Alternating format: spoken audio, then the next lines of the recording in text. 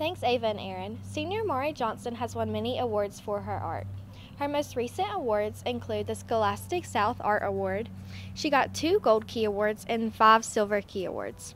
She also got the Senior Best in Show. I entered a lot of my art into the Scholastic Art and Writing contest, and I ended up winning a few things. So I got an invitation to attend the award ceremony, and I'm gonna like receive my award on stage. Maury says her biggest art pieces take at least two weeks, and she puts lots of hard work into each art piece. Um, I've always loved doing art, and I've been practicing since I was little. And in high school recently, I've been able to improve a lot, and by doing commissions and just other stuff. Her most recent art pieces have been centered around one theme. This year, I've been focusing on like a theme of distortion, so I've been drawing and painting different pictures of myself.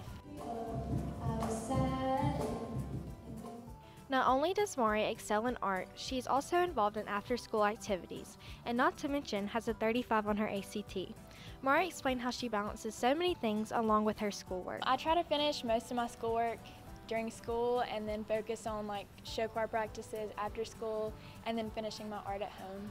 Congratulations to Maury Johnston for all of her outstanding achievements. I'm Morgan Robbins, WTHS News.